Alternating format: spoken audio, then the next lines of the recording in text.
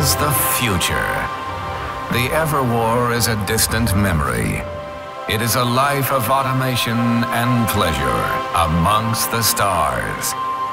Welcome to your Topia. Humanity now lives in perfect robotic bodies.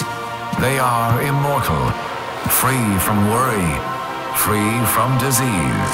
But they are not free at all. Headlander. This fantastic future world is ruled by an advanced artificial intelligence known as Methuselah. No one knows what it wants or why it has enslaved humanity. But this prison of plastic and fiberglass is about to change forever. Headlander. The last flesh and blood person has just been revived. But they're just ahead, living in a helmet that is a scientific miracle. With this helmet, our hero can thrust through the air, remove those pesky heads, and dock into their neck holes and take the wheel. Headlander.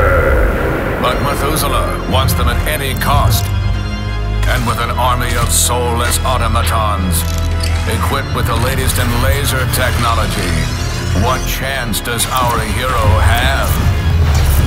But with help from Earl, a friendly voice in the helmet radio, and Crystal Nine and her group of rebel soldiers, it's going to be one hell of a fight.